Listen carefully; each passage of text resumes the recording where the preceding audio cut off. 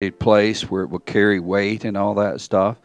And there's going to be probably 60,000 pounds of pressure that's put on that pier until the house is actually picked up by that one pier. Now, the whole house doesn't suspend permanently on that. You move over and you stick another pier in until you lift the house, and the house is high, high up in the air. And so we we we have quite a project going. Quite a project going. And it's absolutely delightful because I keep thinking, okay, Lord, I know there's some things that aren't perfectly level in my foundation. Now, is your foundation perfectly level with your relationship with God? Do you have some big cracks on the walls? I don't have big cracks, but I can detect where there's a crack. I can detect where there was a crack in the floor, and of course, we have cut that out.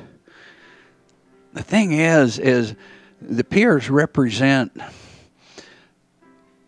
what God says and our faith and trust in what He says, our understanding and our commitment to accomplish what He says. There's a season in our lives that piers are supposed to be being set, and for a while it will be the love of God. For a while it will be the faithfulness of God.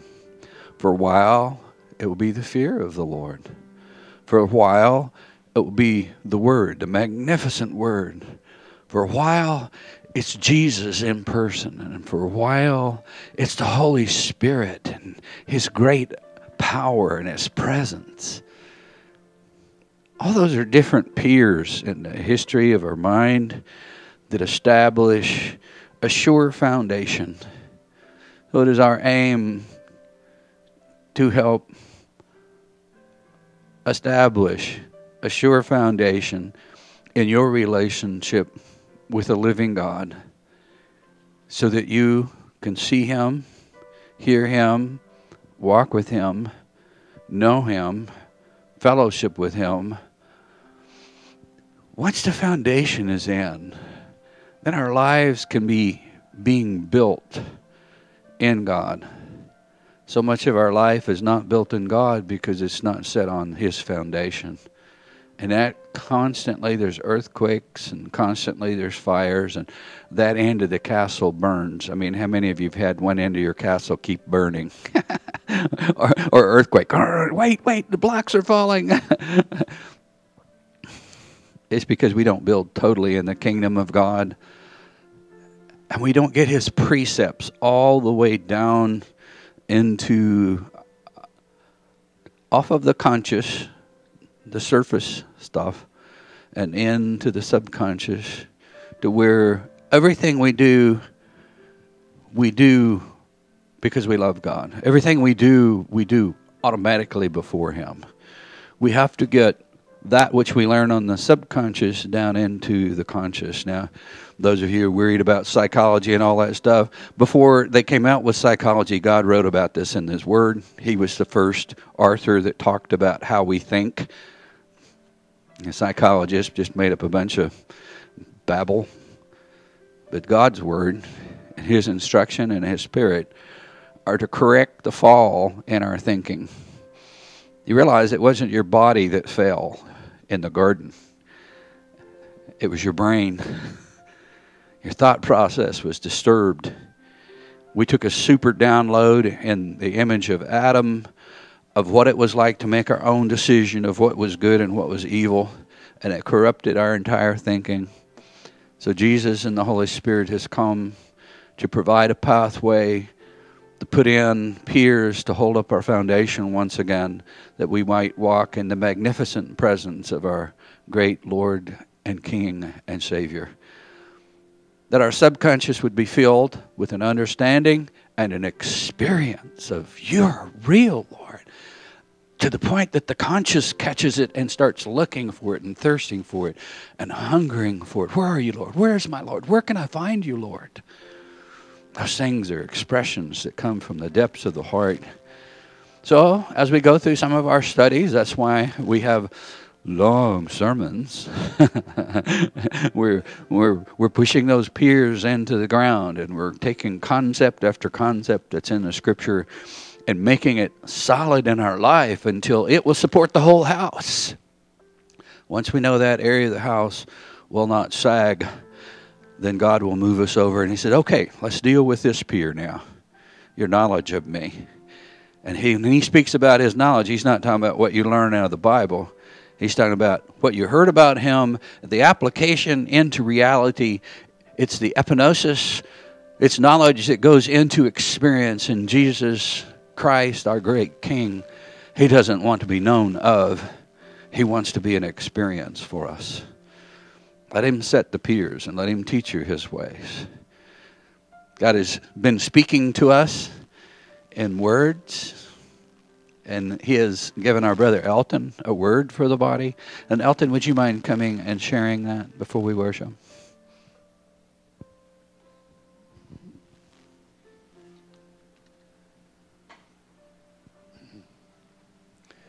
For the past several weeks, uh, well, it's been longer than that now. It's been maybe a month and a half. Um, the Lord is, has been giving me an, an ongoing dream, and uh, I'll catch little segments of it in the evening and uh, magnificent things that are that he's revealing and we've asked for a revival here in this place um, for a number of years and I, I, believe that God is poised and wanting to do something along those lines to bring his presence here a time of refreshing Jesus said that when he visited a number of these villages and towns and so forth in Israel that don't you know that this is the time of your visitation? Jesus comes and we want to be ready for him. We want to be in a place where our foundations are strong. And as Pastor was saying, that in our own lives, putting piers in place, but we also need to recognize that we individually are piers to hold up His presence and a place for Him, where the full weight and glory of the Godhead can dwell, as in our magnificent Savior, the fullness of the Godhead dwelt in Him bodily. When He stands and when He comes into our presence, it is not a minor thing. And so, as uh, anyway, this dream has played out for me, and uh, whether the Lord does this now or does it later, or whether it was just a wonderful dream for me, um, I uh, I wanted to share some of this with you and uh, talk to Pastor. And last Sunday we night we we prayed about this. Um, when the children of Israel were delivered from Egypt, they came out from Egypt, but it took a long time for the Lord to get Egypt out of them. They came into the promised land, and He gave them some very specific commands, and they were pretty straightforward. They were to love Him and obey Him and follow His commands and precepts, and if they did that, He would be their God, and He would lead them, and and there would be bountiful blessings that would occur from that. But as they tripped up and as they started following strange gods and went their own way, as Pastor said, serving themselves and wanting to do what they wanted to do and got caught up in the snare of the enemy, that he gave them over to um, their enemies. And I'm sure there were individuals who were cried out among the, the people because God always has a remnant. But he didn't move and act on the benefit of the remnant. He only acted when the people came together as a group and cried out to God and said, We need to have your deliverance. And then he would move. And so it's in that context that I share this with you. My son, this ongoing dream is from my heart to yours. I desire revival and will cause it to happen when my people call out to, on my name for it. This act of my grace is not poured out lightly. I have chosen this place for my work to be done.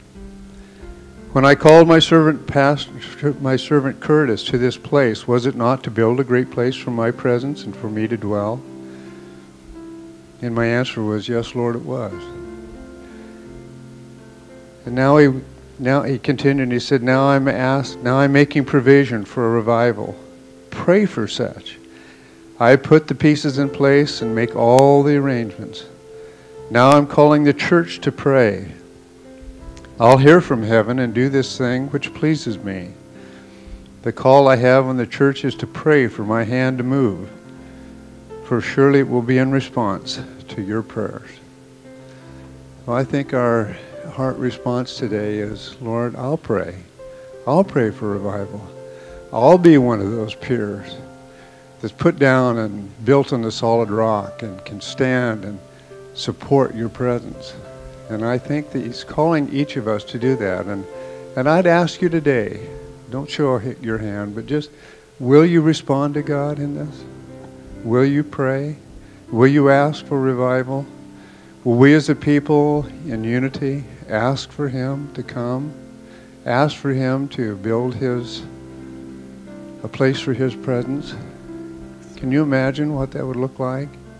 Can you imagine the throng that would come walking into his presence, feeling his healing hand, being delivered from all those things that separate them from him. This is in his heart to have a great family. He's giving us, I think, an opportunity. For the very first time, I felt, God, you can do this thing. You can do this thing. It will start as a small group, and we have been a small group for a long time. He will call us into prayer. Will you respond to Him? That's His call on your life today. Will you respond to Him?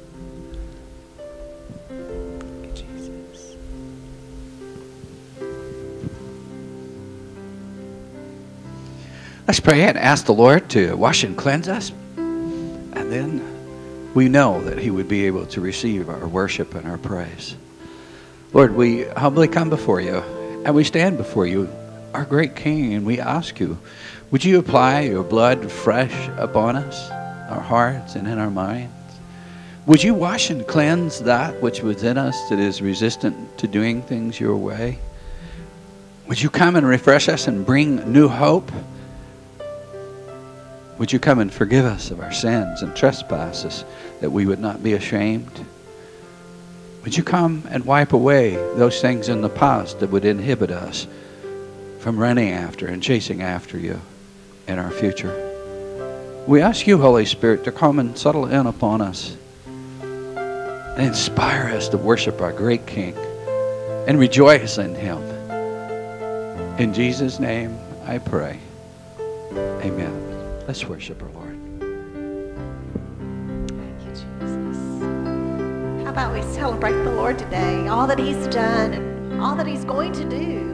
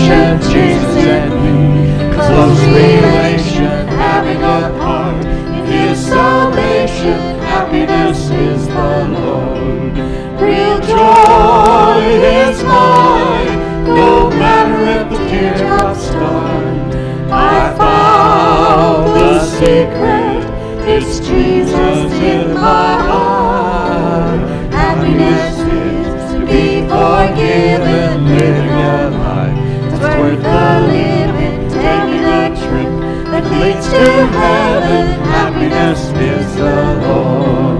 Real joy is mine, no matter if the teardrops start.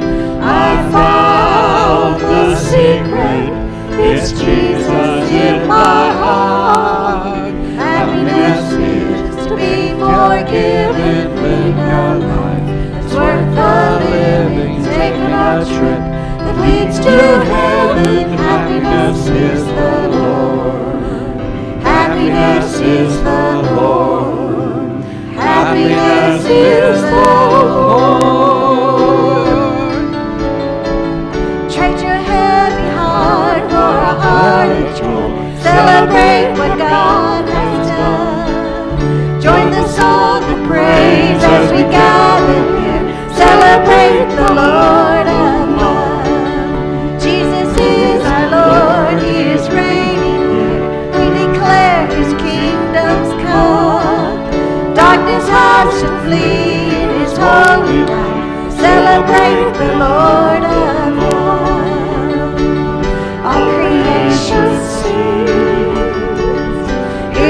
oceans roar.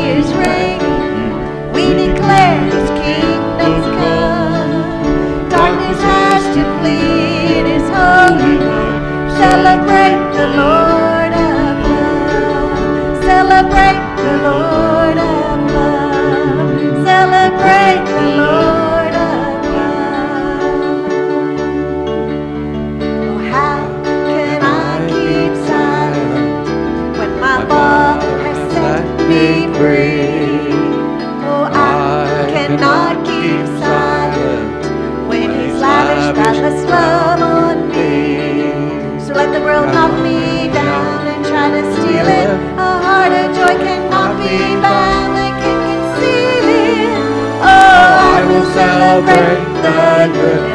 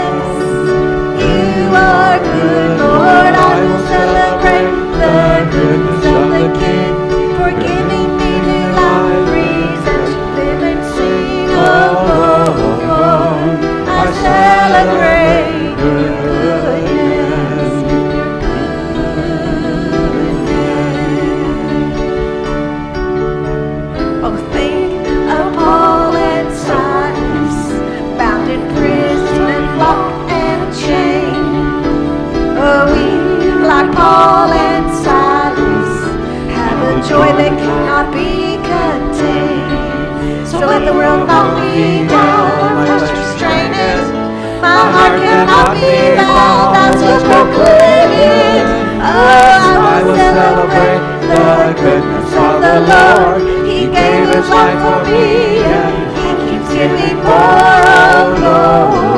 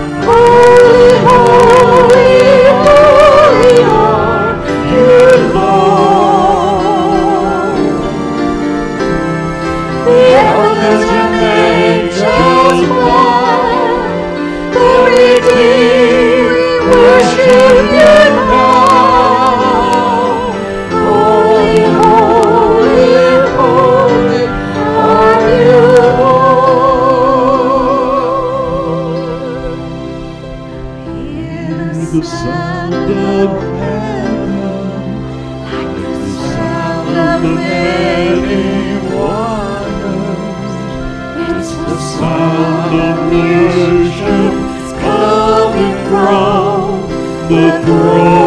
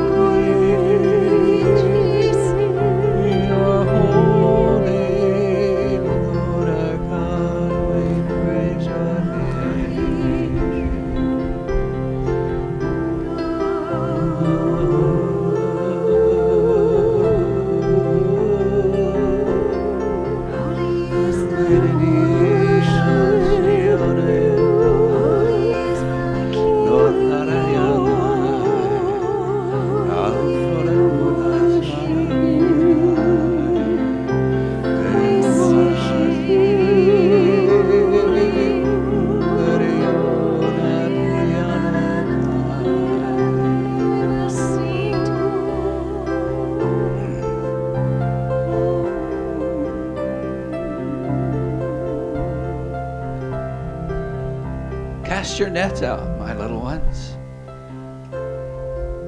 for there is something to catch. Many men looked to and fro to have cast nets and couldn't find me. I tell you, cast your net, for it is full of the goodness of my presence. Cast your net, for it is full. Let it down, that it might be filled. For you have come to the right spot. Cast your net. You who hunger and thirst, you who want to see me and want to know me, and pull up that which I have delegated for you. Pull up the harvest of your righteousness. Pull up the harvest of my presence. Pull up the harvest of my fellowship. Pull up the depths of my word. Pull it on deck that you might behold my provision.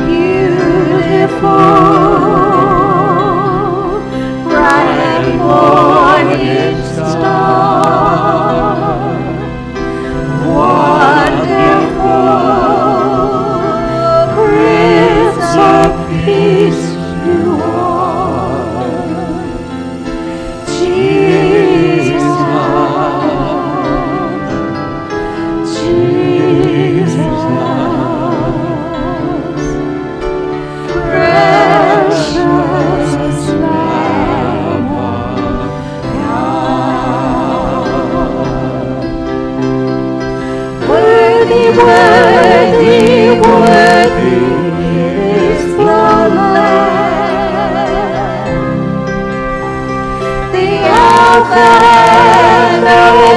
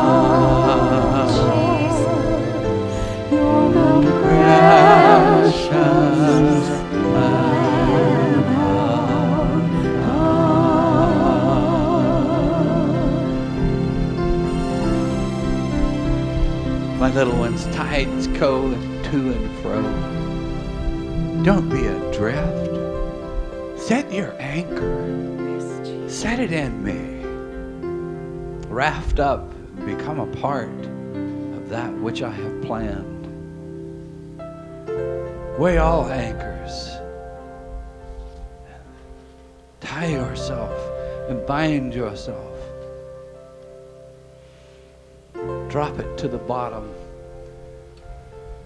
that you would be unmoved and stay in me, hide in me, raft up.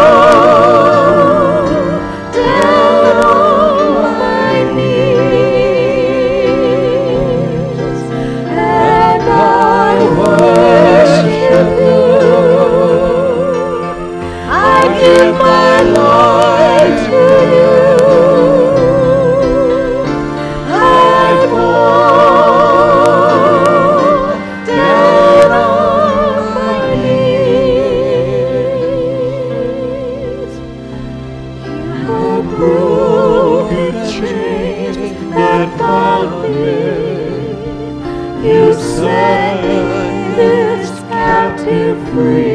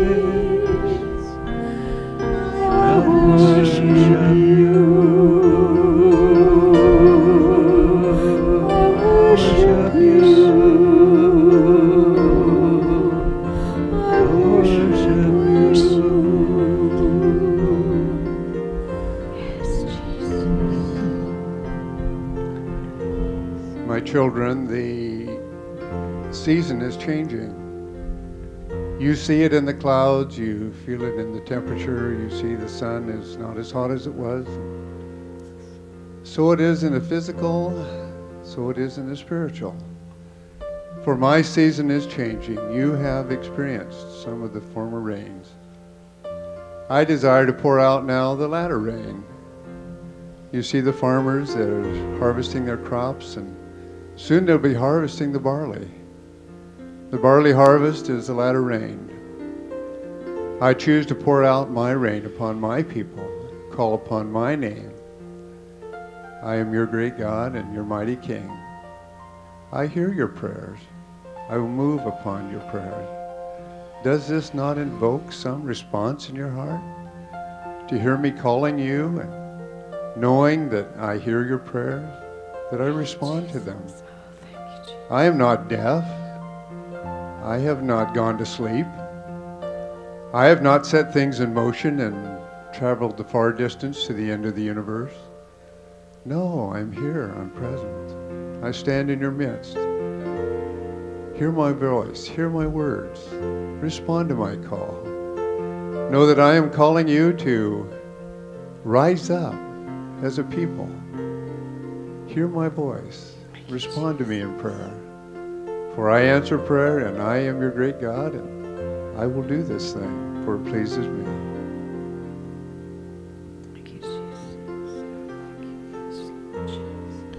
I see somebody out on the water in a boat in the fog.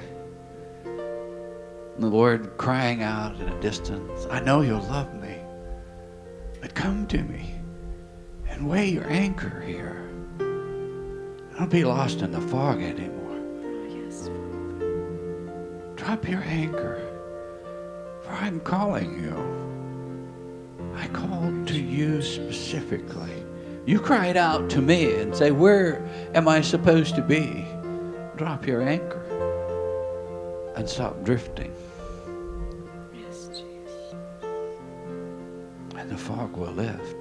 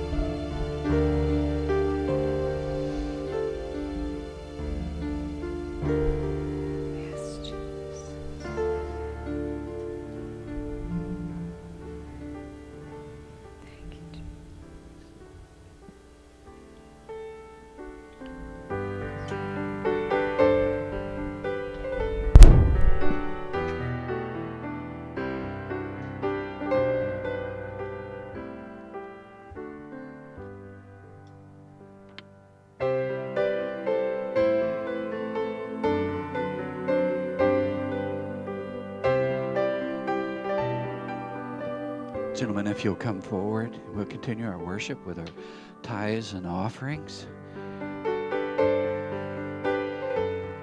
I'd like you to consider. I found somebody in our bodies in need of some tires. They're running on some threads. If you feel compelled to give towards a need that someone has, put on there on your check tires or you can do it after the service, either one. But right now, let's worship Him and give to Him. Lord, we joyfully come to you. We ask you, O Lord, that you would extend your hands and bless us. That you would extend your hands and bless that which is given. That you would extend your hands and bless those who do give to you, Lord. We cannot live without your blessing. Would you multiply this to establish your kingdom and your purposes and your hope? Would you multiply this that you would draw men to yourself and use the funds for your glory? In Jesus' great and precious name I pray. Amen. Announcements? Um, just that uh, I really should keep a list up here what I'm going to say. Um, we do have, um, the, you know, Proverbs coming up on the 13th where we're going to do the Beth Moore simulcast. So please keep that in your prayer. Um, if you want to have take some little cards, we have some on the table there that we set out in the mall. Little cards printed out with a date and time and where they can go to register. If you want to take a few extra of those to pass them out, that would be that would be great to let ladies know, friends know, acquaintances, neighbors know about the simulcast. Um, and, and, please be in prayer about that. It's going to be something different that we've done for Proverbs, and so it's an all-day event. And um, so just be in prayer about that. Also, the women's Bible study is going to be starting up on the 23rd of September. That's on a Tuesday. If you're interested in doing it, we're going to be doing Beth Moore's um, Children of the Day. It's a study in Thessalonians, First and Th- Second Thessalonians, and so the sign-up sheet is there on the card. Please um, put your name and whether or not if you need a book and whether if you want to do the day one or the night one, because we'll have one for the morning at 10 and one at night at 6 or 6:30, I think, 6:30, I guess. I don't know, one of those times. The men's Bible study, uh, we're still working on the, getting that um, set up. So, but we hope to do one this fall as well for you men on that Tuesday night as well, like we've done that in the past. And um, for the children's um, ministry, it's Sherry's just doing such an amazing job. Y'all know the difficulty that she's going through with her, both her mother and father um, diagnosed with cancer, and her dad is, is really doing poorly um, down in Tacoma, the hospital down there, still in the hospital. And so she's a little overwhelmed with things. Oh, praise the Lord. Wonderful yeah, for better or worse, he's coming home on Wednesday. Okay, good. So maybe think about him especially on Wednesday. But um, keep that family in your prayers, Sherry, in your prayers. Um, and if you if there's anything that that um, I, I, know with all the extra trips down to Tacoma that she's having to make, um, her duties with the children's ministry, she's still keeping up with that and still doing such a, a bang up job. But if you can think about maybe calling her and seeing if she has some extra help, needs an extra hand with something for you know um, certain times, just keep that in mind and give her a call. Also, um, besides keeping in prayer this marvelous um, opportunity that the Lord has presented us last Sunday night, especially, and then again tonight Milton's Word about revival, besides keeping that in prayer, um, think about the people this weekend that are out of town. We have so many of the Travantes. Uh, Gail Lohman's out of town. I guess Gary is too. Of course, we want to continue to keep Terry in our prayer. The, I guess the Morrises are out of town. So, um, Jarena and, uh, you know, so many are, are gone this weekend. So please keep them in your prayers. They return home over the Labor Day weekend. Such a bad travel weekend. Why anybody goes out of town this weekend was beyond me. But anyway, they do apparently. So, but keep them in prayer because of that, um, all that extra traffic and um, danger. So, it's Labor Day, and uh, if anybody wants to join me and Jackie, we're going to go over and labor on Frank's house tomorrow. so praise God, it only comes once a year, so we get the rest of the year off, right? Isn't that way we're supposed to do with Labor Day? Work one day and the rest of the year off. Uh, God richly bless you. I pray that uh, His Word surrounds you this morning. But before we partake of His Word, let's partake of His body and His blood. It's a covenant that we need to do often. Jesus realizing that we're human beings and that we're lacking something spiritual, he had that spiritual that we needed within himself. Him, being God, made the statement that he wanted to enter into a covenant with us. And he entered into that covenant with himself and gave his life. Gave his life for something for us that would change us and revolutionize our life. Not just grape juice and crackers here after we pray. Part of the Lord's manifest presence will be served to you to change that which in you cannot be changed, to strengthen that within us which needs strength spiritually to know our God. I happen to believe him, the same creator that spoke and said, Let there be light, is the one that spoke and passed out bread and grape juice. And he said, This is my blood and this is my body. So, would you extend your hands? And we're going to ask God to bless and transform this into his great promise. Lord, we ask you to extend your hands from heaven and lay them upon this, just as you broke the bread that night, and just as you blessed the wine and you blessed it. You caused it to be something it was not, something spiritual that would change and transform us and keep us in covenant with you. We ask you to touch it now and transform it. In Jesus' name we pray. Amen. You may pass out the sacraments, please. Be in prayer right now. Ask God to wash and cleanse you. Ask Jesus to forgive you before you partake of this. Ask Him to wash and cleanse that which is inside that struggles with Him. Ask Him to empower you to be worthy to partake of His body and of His blood. that it might be established well with you, that he enters fully into this covenant with you. There's nothing in your past he cannot resolve, forgive, that would prepare you to enter into covenant with him. This is something that is sovereign because we have something spiritual from heaven that's going to enter into us to connect us with that which is spiritual there. Lord, we thank you that you have blessed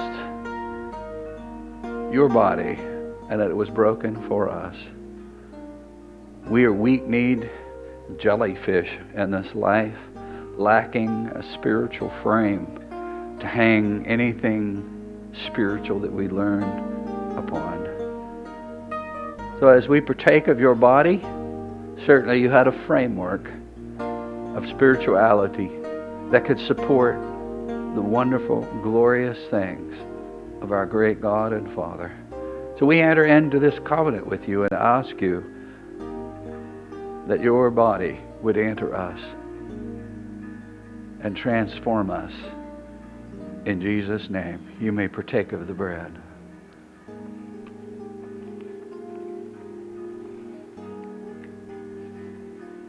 Lord, we proclaim that we receive and understand that the cup that is in front of us has been transformed into that which is spiritual, transformed into your blood.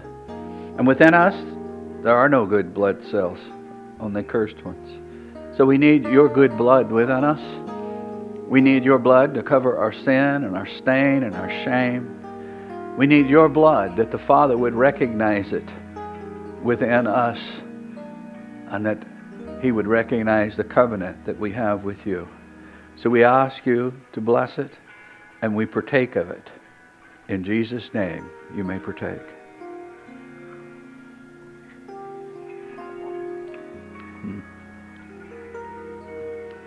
Praise God. Praise God. You know, he said, as often as we come together, that we should do that. I think he knew how often we would need a little strength, a little power, and a little help, and a little washing, right? like, how many times by the end of the day do we need to do that? but praise God, His blood is powerful, His body is powerful, and it now lies within you. When an angel sees you, he sees something in there that's not corrupted. And that thrills me to death because I know what's in here is corrupted. I need that which is not corrupted. And that which is not corrupted now stands inside me. And the Father sees it, and it catches his attention. The Father sees it, and he smells his Son. The Father sees it, and he is pleased. The Father sees it, and he wants to intermingle with you and me. So often, think of this that God is in a real covenant with you. As he entered the covenant with Abraham, this covenant cost him his death, cost him his life. This covenant is far superior to the covenant of Abraham. Covenant of Abraham had some wonderful promises, but this covenant has the fellowship and life in it. And we need that life. We need it abiding within us habitually and walking with us habitually. Lord, I thank you for your precious covenant. In Jesus' name, amen. Amen. How about we wade off into the Word now? And today we're going to talk about some of the giants of the times past, and that's not the Nephilim. We're going to talk about the Hall of Faith in Hebrews chapter 11, and there's a whole list in Hebrews chapter 11, which we'll be reviewing a little bit of scripture there. And it starts out with Noah and the Hall of Faith. It starts out with uh, Abraham and all the promises, and Isaac, even throws in Enoch, which Enoch is one of my heroes. And I'll tell you why. It's because Enoch walked for 65 years, having children, living a life, building a house, same thing we do, working, no doubt. When he was 65, instead of retiring, he decided he wanted to walk with God.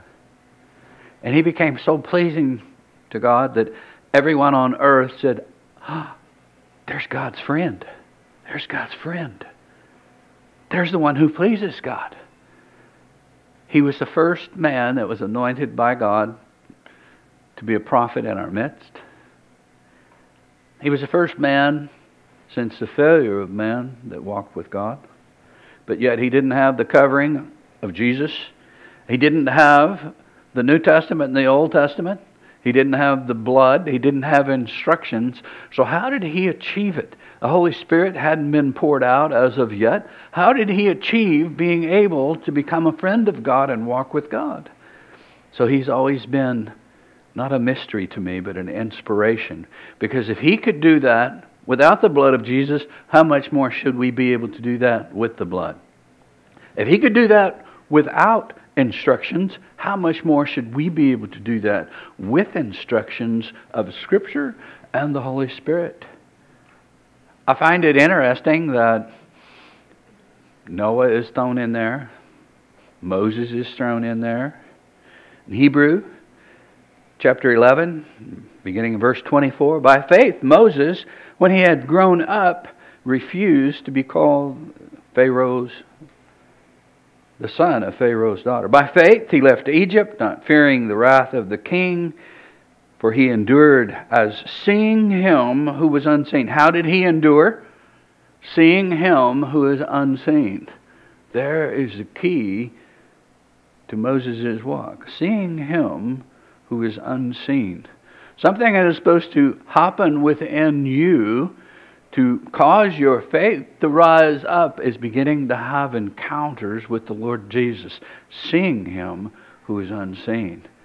You're supposed to be developing spiritual eyes, and the Holy Spirit is supposed to be helping you do that, and the Word, and us doing all the things that God instructs us to do, being a keeper of His, His instructions so that our obedience might be complete, but it's for a purpose. And the purpose is that we could come into the revelation. A revelation means something that is revealed to us. If I walk into the room and somebody sees me, they can say, I had a revelation. Curtis is standing there. We need that revelation with our Lord and with our King and with our God so that He is just not something we learn and study about. If He's something we learn and study about, then we think when we come to church that we're doing something. If He becomes real and He's a King that stands in our midst and angels are attending Him, do you realize what a privilege it is to come? And be able to stand in His presence. When church becomes a rite, when church becomes a pew, when church becomes a place where I just go to learn, instead of the mindset that it's a privilege to have an encounter with a living God. Because if it's a privilege, it's something we're going to struggle for. If it's a privilege, it's something we're going to fight for. If it's a privilege, it's something we desire and something we, we want. And that relationship with God will blossom and bloom and grow because we see it that do you do you realize how privileged you would be that if you were sent a postcard and you've been chosen out of the phone book in the United States to have an audience with the queen for a day and tea? Do you realize the news media would be on your doorstep for months until that day come? That you got the privilege of standing before queen how much more should it be in our mind and heart of what a privilege it is to be able to come into the house of God? It's one reason why we keep this place sanctified, that it's used solely for the purpose of God, that it's His house, that we might have the privilege to come and stand in His presence. Now, it is us who have to maintain that mindset because we will grow lethargic, we will grow unstable, and we will grow a custom. Well, he's there. I guess I'll just mosey down, and doesn't matter whether I'm there or not. And ah, it doesn't matter. We've lost the concept that it is a privilege to be able to stand in God's mind, in His heart, in His presence, in His view. That means something has changed, and He's not our treasure. That's why God has to be something more than words that are preached. He has to be an experience that is lived, an experience that we can see and taste and feel going on in our hall of giants by faith. He kept the Passover and the sprinkling of blood. Do you realize God spoke to him and said, The death angel is going to walk through here. And unless you put blood on the post, on the lintels, everybody's going to die. And he, by faith, told everybody, and everybody by faith did that. And God Himself is the one that stood at the door and told the death angel, No, not this house. Go on to the next house. So there was a provision that he gained by doing something ahead of time that God told him to do. Isn't it a silly thing if somebody told you just take a brush and red paint and just sling it on the wall and you'll live? Well, that's silly. Nobody's going to die anyway. Well, all the firstborn in Egypt, every animal and every child and every adult that was born first, they all died. Even the little mice even the cockroaches. he said the firstborn of everything. And I know we don't carry it that far. Now, here is an interesting thing. By faith, he passed through the Red Sea. By faith, the walls of Jericho came down. And do you realize we have this tremendous hall of faith of men who have accomplished something for God? And then all of a sudden, by faith, Rahab the harlot did not perish along with those who were disobedient. Do you, do you realize the magnitude of that? Here is a harlot that just got thrown in on the same boat as Noah. Here's a harlot that just got thrown in and stuck in the same crowd as Moses. Here's a harlot that got stuck in the same crowd as Abraham, who walked with God, and Enoch. And you think, well, wait a minute. Why, she, she's not one of the patriarchs. Why, why? God's the one that threw her in there. I delight that He threw her in there. She wasn't a worthy person, wasn't she? kept an inn and ran a house of prostitution and the local hotel, the Motel 6. I kept the light on for you. Her inn was situated right at the gate. Right at the gate. Most interesting, she was a real businesswoman. She ran a complete inn that was big enough to supply for the city. Not just a house. The scripture identifies it as an inn, and yes, it also identifies it as her house. But I would have thought it had been enough. But uh, they get through in Gideon, Barak, Samson, Jephthah, David, Samuel, and the prophets. And here she is in the middle of this. How can she be in the middle of this? What did she do that God found favor to put her in the hall of faith? Well, I can understand God's affection for Gideon. He carried out and did some amazing things, and Samson and David and Samuel and the prophets and Abraham. And I can understand why God loved them. But I cannot understand how can he love someone that's a prostitute, runs a house of prostitution, is a pagan, is a heathen, and a part of a society that's not a part of him. And the kingdom of God was entering into the land of Israel. Do you catch that? The kingdom of God. Jesus, when he died on the cross and he was resurrected, he was saying, Repent, for the kingdom of God is at hand. The kingdom of God was fixing to invade the land and take the land. What is the kingdom of God supposed to be doing now? And who's supposed to be participating with the kingdom of God? Us infidels that are in the castle. Us infidels that are behind our stone walls. Us infidels that don't know anything else except me, myself, and I, and we've got our temples set up to all of our things that me, myself, and I want. Remember the Holy Trinity, Father, Son, and the Holy Spirit. Who's the unholy Trinity? Ah. We hope and pray that He becomes stronger than us, that He is greater than that which is within me that is not a part of Him. He says that by faith they conquered kingdoms, they performed acts of righteousness, they obtained prophet, uh, promises, they shut the mouths of lions, they quenched the power of fire, they escaped the edge of the sword. Man, she's really thrown in there, is she not? It would be like if I described to you, now I don't know if you're familiar with a local area, there's a little humpback mountain that's over on Fidalgo Island. Anybody know what the name of that is? Erie. Mount Erie. You can go up there and it's a tremendous view. But what if we threw in, let's say, we're talking mountains and we've got Mount Rainier. And then we've got, uh, what's this one up here? Mount Baker? And then, oh, uh, let's let's get bigger. Let's throw in let's throw in some Rocky. You realize how many 14ers there are there? Mount Elbert and all these different Pikes Peak and oh my goodness, we used to go take jeeps and go all over the tops of those mountains and spend all summer up there. It's just absolutely wonderful to get up there where the air isn't and it's nice and cool. You don't care that the air isn't because it's cool. We were coming from Texas. And it didn't matter about the air, it mattered that it was cool. now, so we've got all these huge mountains, and then all of a sudden we throw in this little dinky hill that's out here in with it. Why don't we go ahead and throw Everest in there too, and K2, and McKinley. And then all of a sudden we got this little hill. What's the name of it? Anybody know? Mount Erie. That's what God has done with Rahab in the midst of all these huge mountains that really did something for him. And the reason I appreciate him throwing her in there is because that's who the Gentile church is. She was a Gentile, she was not a part of the kingdom of God. She could see the kingdom afar off.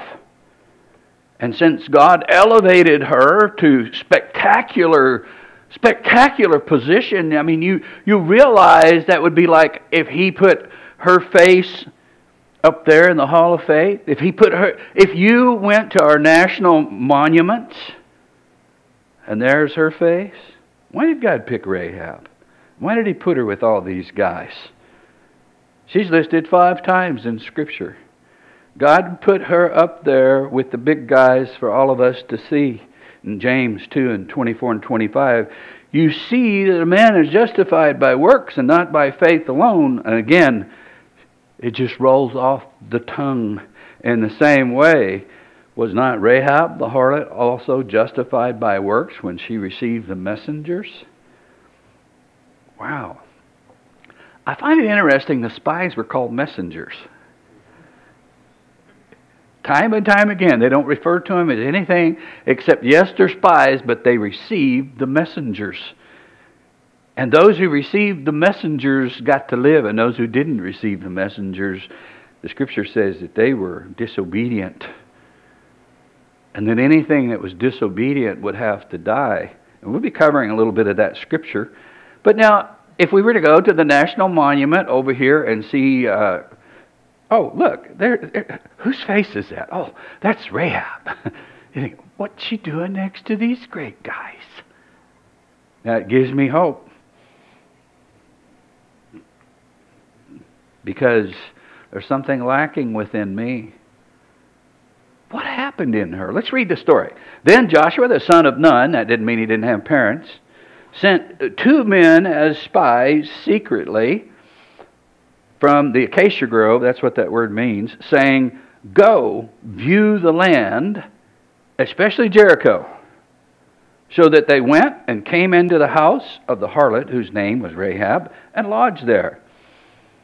It was told to the king of Jericho, saying there's probably 100,000 people in this city. You realize that, right? They have a fertile plain and a fertile valley that's filled with date palms and filled with every kind of fruit and vegetable that you can think of. It's irrigated off of the Jordan River. They have miles and miles and miles. It's kind of like the Central Valley of California that could really grow anything and had enough heat and sun to do that, and had the water. But they also had a great city that had its own springs system that formed creeks right in the midst of this magnificent city that was built. It was considered the impenetrable city of all the Middle East in its day and in its time. It was considered to be that which would block any army. And had armies been through here before? They had, but they had not been able to do anything with this city. It was a well fortified city. So they went and came into her house, and it was told to the king of Jericho, saying, Behold, men from the sons of Israel have come here tonight to search out the land. Wow. He's king of this city. Some speculate that there may have been as much as a quarter of a million people in this city because they all pulled in. Why? Because children of Israel right across the Jordan. They got two million man army fixing the cross. A two million man army fixing the cross.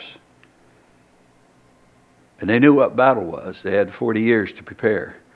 They had 40 years to get rid of the cowards, 40 years to those who were anemic, 40 years for those who didn't have the stomach to do what God wanted done. God had developed a hardened crew to come in and bring the kingdom of God in with violence and take the land. Why? There was a bunch of things that settled here in this land that was His. In the spiritual realm, God proclaimed from the beginning of time that Jerusalem would be his holy city. He proclaimed to the angels in heaven that that land there was his strip of land. And who went to try to occupy that land? Canaan, which was cursed of God.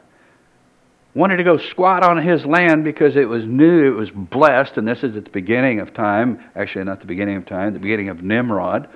They knew God is going to, He's picked that land. Let's go occupy it. Let's take it. If it had any sense, it stayed away from it.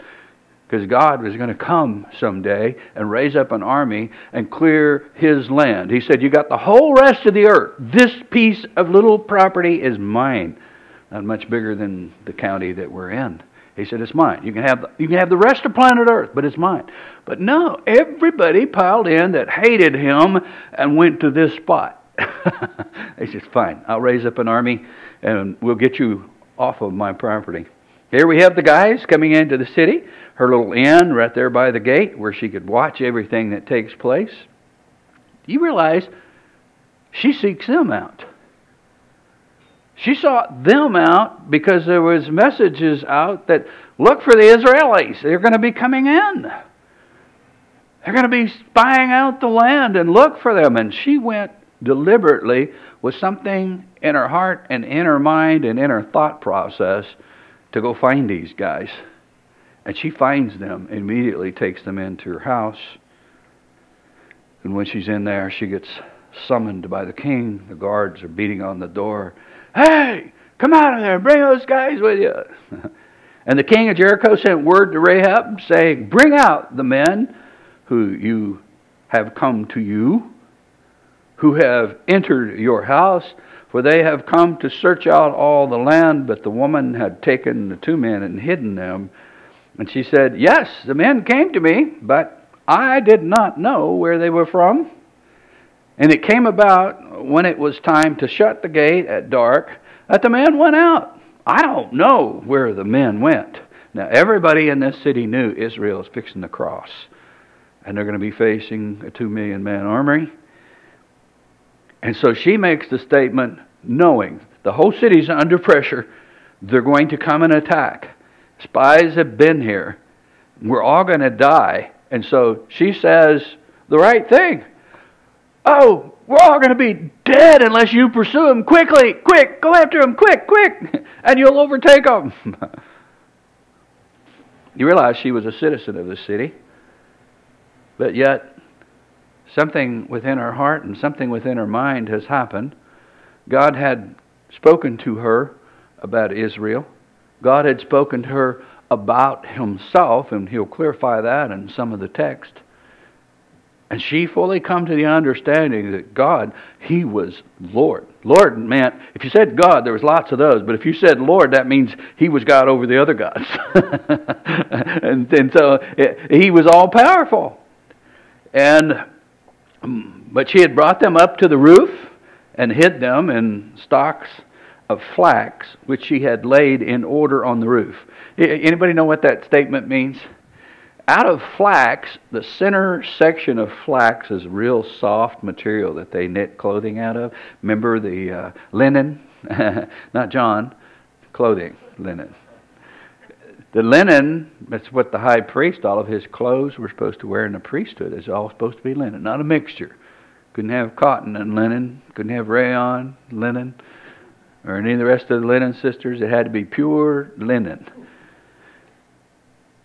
Linen had this unique characteristic that it could be woven into cloth, especially those fine fibers. The outside fibers of the flax was also used, but what it was used for is rope. It could be woven together, and so she has piles and piles of rope up on the roof.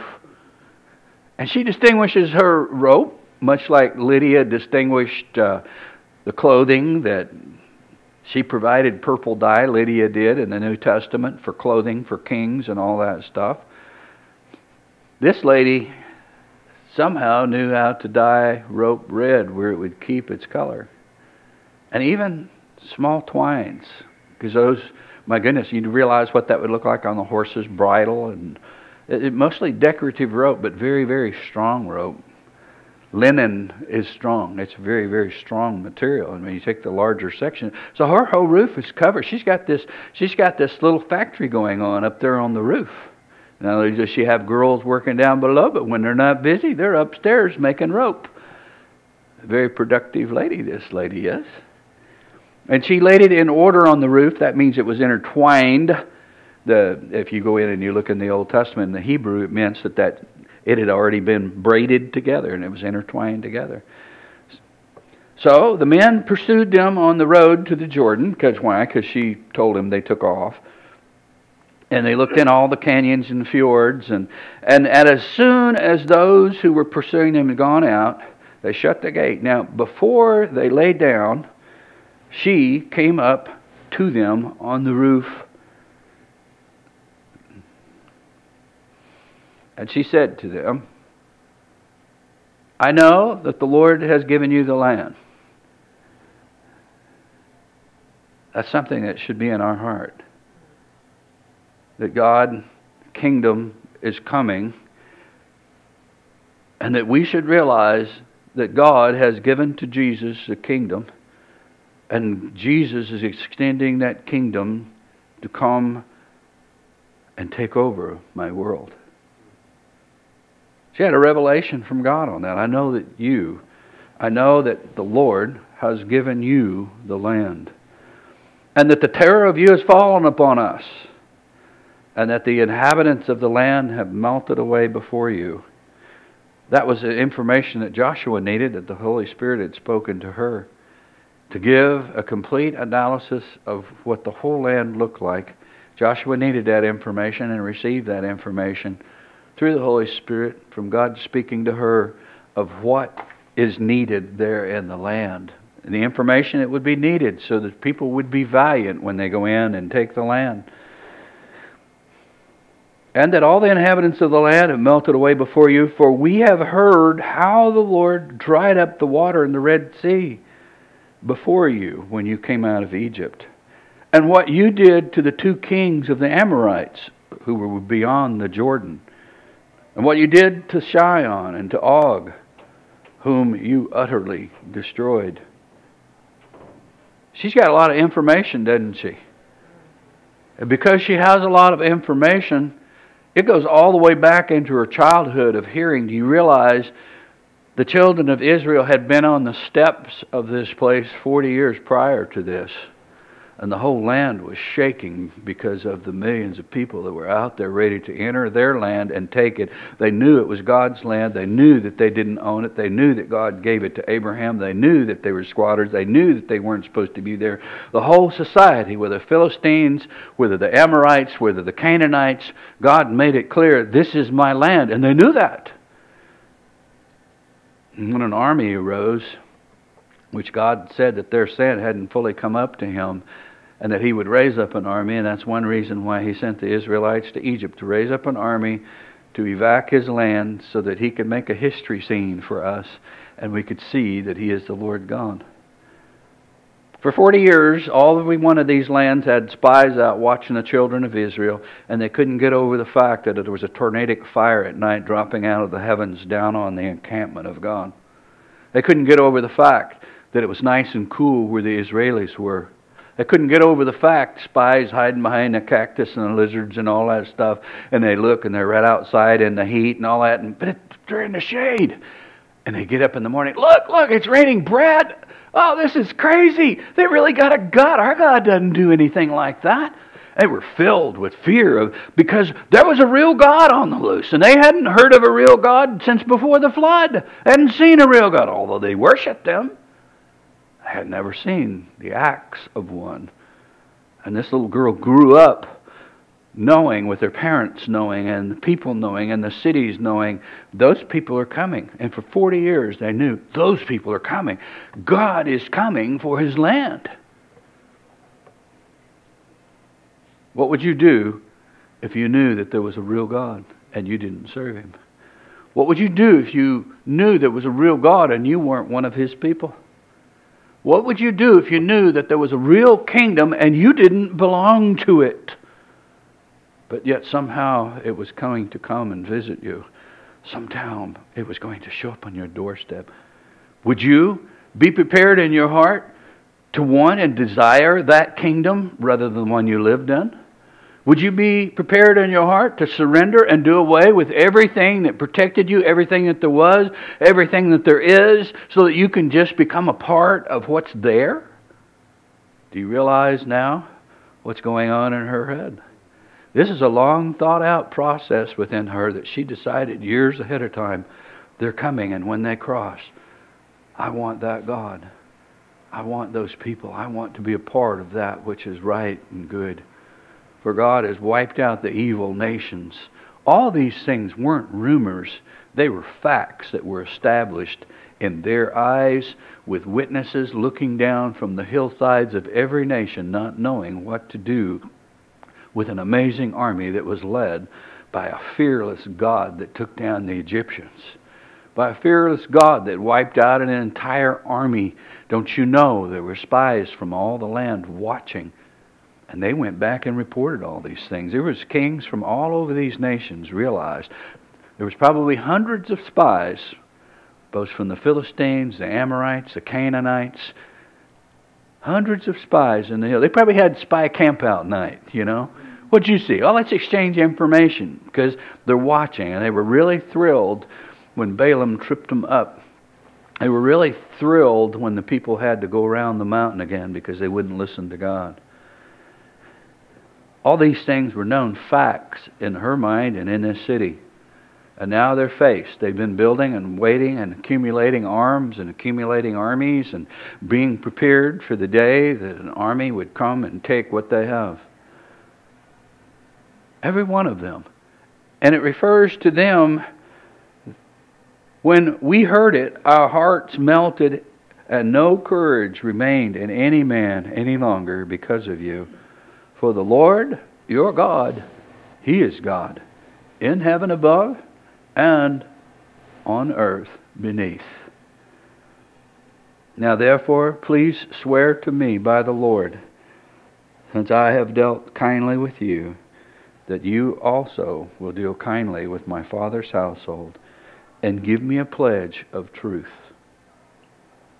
And spare my father and mother, and my brothers and my sisters, and with all whom belong to them, and deliver our lives from death. This is a long thought out plan that she's had for years. She's looked for a way that they might survive because she knew Og and she knew the other cities. They didn't leave nothing alive. They took out entire civilizations that had been there for a thousand years and there was nothing no cattle, no nothing left. And when the word came, she knew that nothing was going to be left. And that's God who's doing it, and I need that God. And so she contrives in her mind a way to change her identity because she forsook the identity that she had. She forsook the kingdom that she had. She forsook the people that she had. She forsook her ways so that she could take on a new identity and become a part of that people that was across the river. It was something that was deeply planned out in her heart and in her mind. She had probably been looking for this to take place because for probably a year they had been on the other side. They went through Moses' death, and don't you know that was reported? And they watched the children of Israel fil- filter down into the Acacia Valley that was across the valley of the Jordan. That went on for probably a year as the people there were being prepared by Joshua, by God, being prepared to watch God do something they had never seen, and that was part the waters of the Jordan, and they walked on dry land and commemorated that by going and getting stones for their tribes and and taking them out of the bottom of the river, dry river. And they could look up river and see a giant dam, hundreds of feet high. There was water standing on its edge, a giant dam of water upriver. they hadn't got to see that. Why? Because of the younger generation that came they were new not at God because they had been learned how to be faithful to Him. But they also were circumcised before they went in and went into covenant with God. Why? Because they weren't circumcised before and weren't in covenant with Him. And the kingdom of God was being established within them, but while it was being established in them, He was giving them a land. And right now, Jesus, He's wanting to extend His kingdom into your life. And we have to be like her. She's the only one in the Hall of Faith that has all these characteristics that resemble us, that make an semblance of us. I don't fit Joshua. I'm not a valiant man. I've been out and fighting and hacking body parts and, and, and doing those things. I'm, I'm not a Noah that knows how to build a boat. I'm, I'm, I'm not an Abraham that walked with God. I'm not, I'm not any of those things, but I am like her. And my heart cries out when I see the kingdom of it. My heart cries out when I know about the angel. My heart cries out when I know about the throne. My heart cries out in all the, all the, all the mysteries of God that are real, that are right across the river, and He is, and His whole entourage has been invading my life.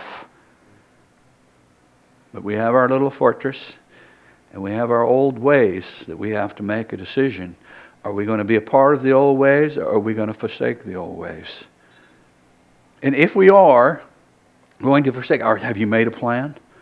Are you watching for the visitations of the messengers? Now please therefore swear to me by the Lord.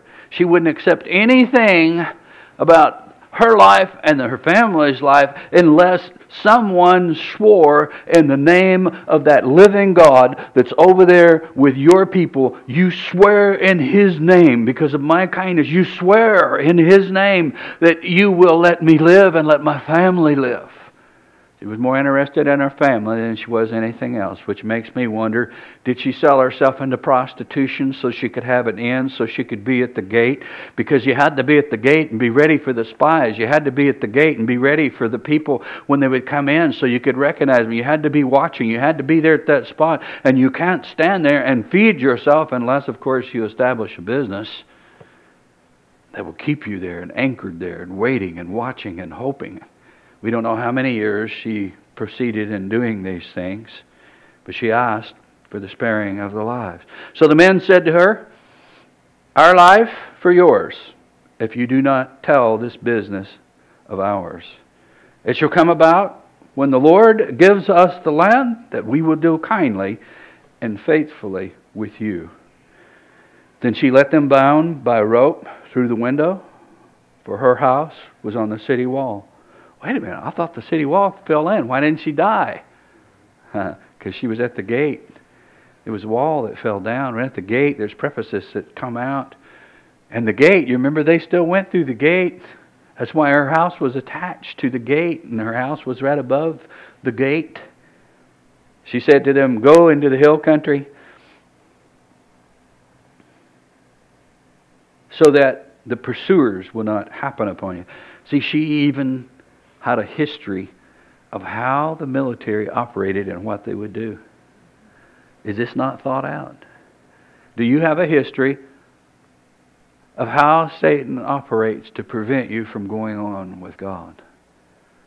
Have you sit and watched your failures and your participation with him?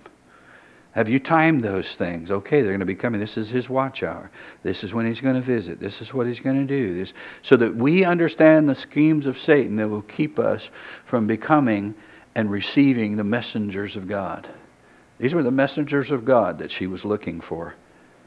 Then afterward, you may go your way. The men said to her, We shall be free from this oath to you which you have made us swear, unless when we come into the land, you tie this cord of scarlet thread or rope in the window through which you let us down, and gather to yourself into the house of your father and your mother and your brothers and all your father's household. If we're going to seek God and want His kingdom, everything that's within it has to be dedicated to Him and for the purpose of one thing that it can live in His presence. So here we have a house full of people, no doubt, a lot of groceries stored up, and she's told to shut the door and stay in there. What does that remind you of? You remember the Passover? This is this is this is the Passover. And this is a type of the Passover. And why was it given to us? Because if we will go into our place where we met God, where we received His Word. And while we're waiting on His rescue and His deliverance from the way we were, so that we can become that which we are not, He seals the door and says, I'm coming. Be prepared. Hang a red cord out the window. Now you realize everybody could see the red cord. Why all of a sudden did this inn have a flag of a red cord hanging out of the city that everybody could see. It's not a minor thing. It shall come about that if anyone who goes out of the doors of your house into the street, his blood shall be on his own head, and we shall be free. But if anyone who is with you in the house, the blood shall be on your head, and if if if a hand is laid on him. But if you tell this business of ours, then we shall be free from the oath which you have made us swear. Do you realize she was willing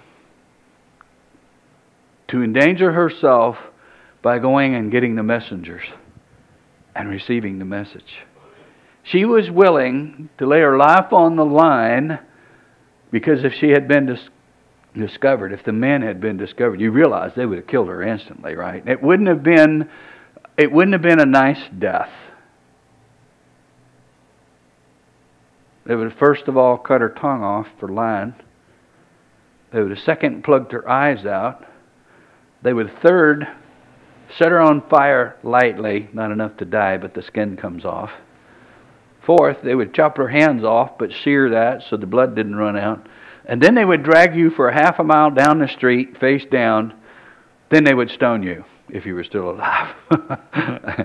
she was facing that because that was a penalty then for the treachery that she paid.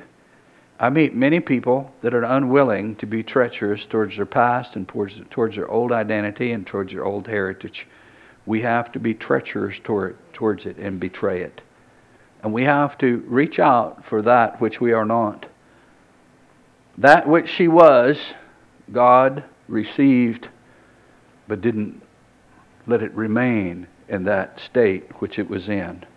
So she sent them away, and they departed, and then she tied that scarlet cord in the window. What did she do? She acknowledged that the Lord was God. And she wanted that. She wanted the Lord to be her God. She's asking them, Will you make me a part of your society? She acknowledged what she was, who she was. And I find for the most part, when we come to Christ, we say, Well, all, all, we're all forgiven. We all sinned. Do you realize everywhere she went, she had the title of Rahab the harlot? In every passage of Scripture that she's mentioned, she had the title of Rahab the harlot. We know that she lived for some 40 years later. The book of Judges, she's recorded as being even in the book of Judges as they were establishing the land of Israel. She realized that she and her family were utterly destroyed without the Lord. If we too will fast forward the real to the outcome, Jesus is coming, His kingdom is coming. We're going to stand before mighty God, one that also has that lake of fire that anybody that doesn't please him goes into. We need that little bit of information. She processed all this information. And as a result of processing the information right, she was able to fast forward the real of here's the outcome. If I don't do this, my family's going to perish because those people, those two million warriors, will do exactly to this city as they've done to all the other cities. And not only that, they have a real God and we don't. I want to be a part of that family. I want to be a part of that society. I want to know that God who stands and hovers over them. This may have been her plan all of her life. It took some time to establish all of these things. In her heart and in her purposes, God has put her on a pedestal. And the only thing I can figure out is this is who she was. That she wanted to know that God that was out there in the desert that was real. And she knew that there would be messengers coming, and she was looking for those messengers. Are you looking for the messengers of God? Are you willing to listen to the messengers that God sends? Because if you're not willing to listen to the messengers of God send, you can't receive the instructions for getting the cord in the right place, the rope in the right place. She saw that joining the Lord was the only saving option. Many times we feel so safe in life that we just, we're safe and yeah, we know we're going to die, and yeah, we'll be on the other side, but that's not safe. Safe is to know the Lord your God. Safe is to walk with Him. Safe is to see Him. Safe is to hear Him. Why? Because that's the only life that there is. And if you're not in life in that relationship of being able to recognize and see Him and walk with Him and know Him, then it's, there's only two categories there's life or there's death. So if we're walking in death, that means we're not walking in the living presence of the Lord. We're not considering. And she tied a rope that you could be seen for miles. Why? I would be willing to think that even the people that were across the river, seven, seven miles away, this city was on a hill. She tied a cord big enough that everybody that was faithful to God could see that. Why? Because what was the promise? You tie the cord, and we'll spare your life. we got to see it. I would have put a cord out there that big.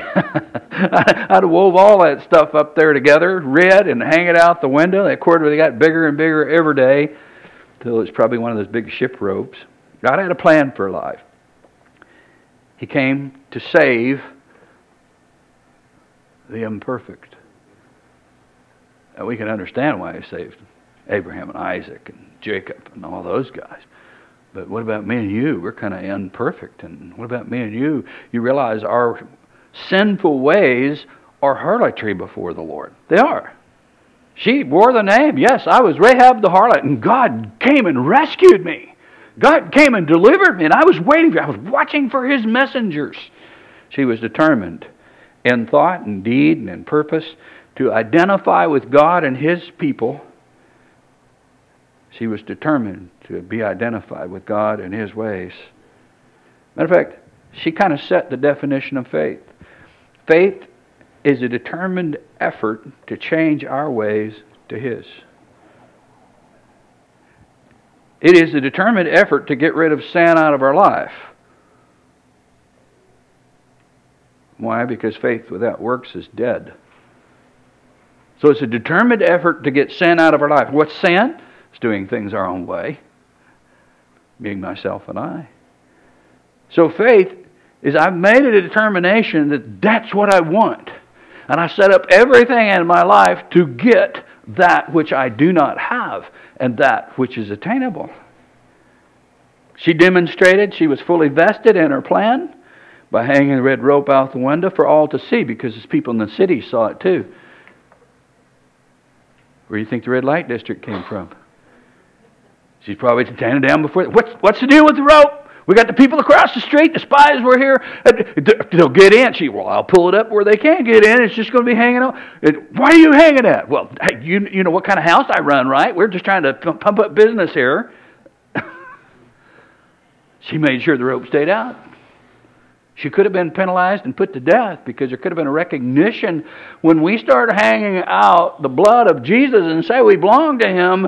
All of a sudden, people don't want anything to do with us or they start questioning us because we live in that same Jericho as they did. The place of smut, the place of filth, the place of our own provision, the place where we've got our own water, the place where we have our own food, the place where we have plenty of companions. She could not trust one companion to tell them these things. The only thing she could do is call upon the living God. Her plan was to do everything God's way. Her red rope was seen by all who were faithful. That's what she wanted. She wanted to see all the faithful. Have you got your rope hung out that someone who's a Christian can spot you? Is your rope hung out? Is the blood of Jesus hang out enough in your life? Is his purity enough there? Because see, his, his blood covers our sin and purifies us from all unrighteousness. And there should be something in us that we appear as righteous, not self righteous, to those if we have the rope hanging out. She'd fully set her mind to follow through. She received the messengers, number one. That's our first thing. When Paul went, he was a messenger that was sent, and the people had to receive what the messenger of God had to say. And if they received what the messenger of God had to say, then her heart began to call out to God and accept Him. And as a result, then God begins to work on her identity. And this was probably a, the year before because she had to have plenty of flax, so she had plenty of rope waiting for the spies. So she could go rent the house that was next to the gate. See, uh, you got to think through these things. It just didn't happen. There was purpose behind everything that she was doing. So, we are supposed to destroy our arguments and every lofty opinion that rises against the knowledge of God and take every thought captive and obedient to Christ if we want that which is across the river to come and occupy that which is here in my house.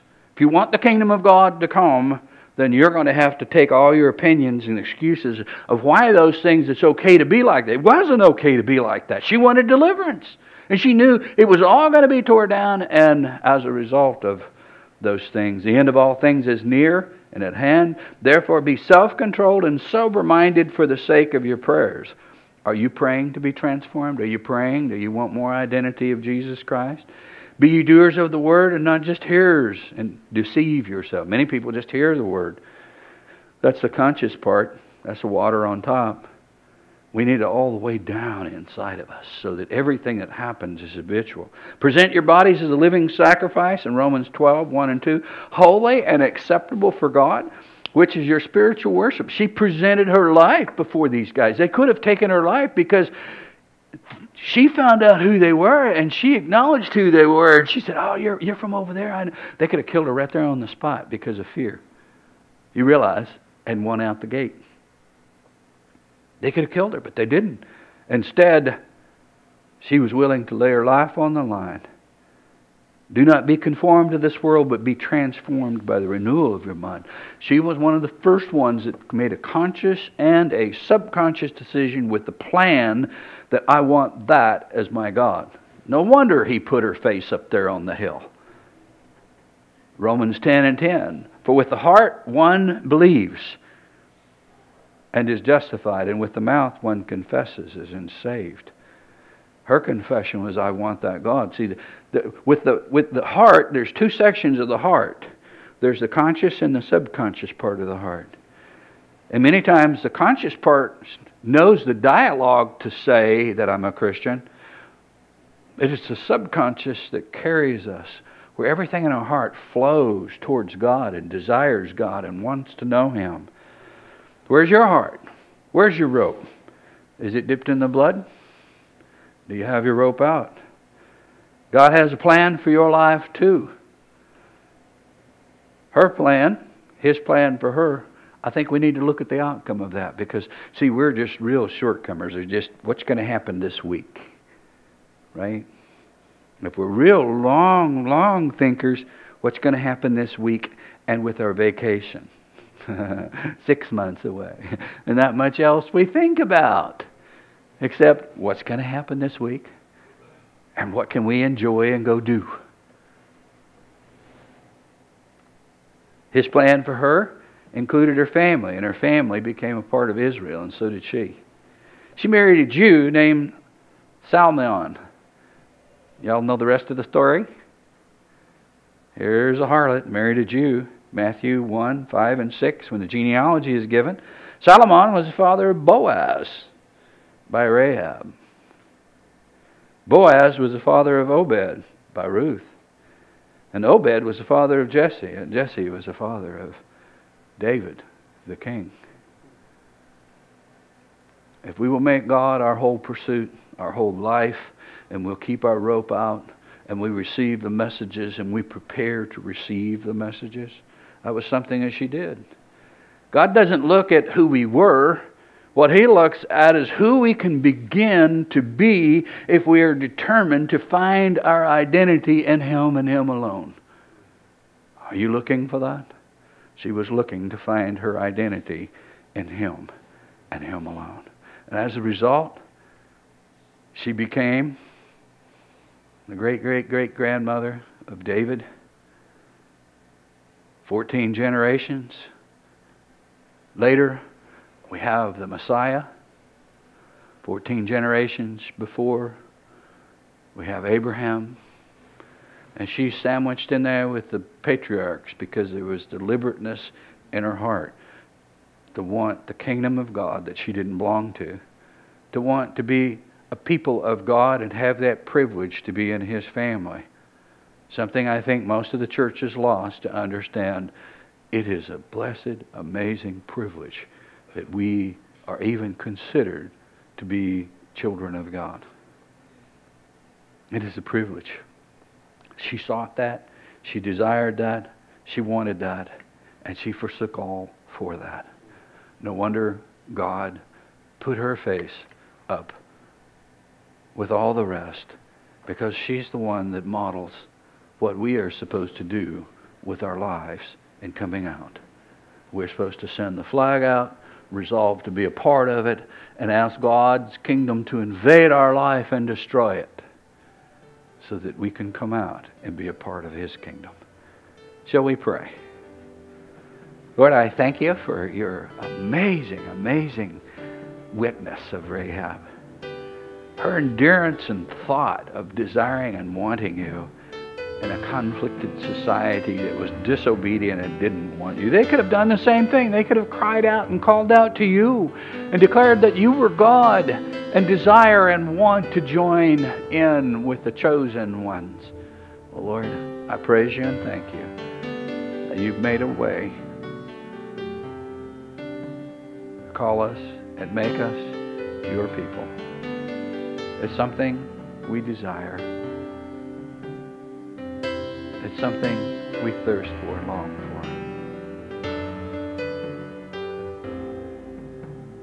Help us to be determined to seek after that which is obtainable. In Jesus' name I pray. Amen. Amen. If anyone needs prayer, I'd be glad to pray for you.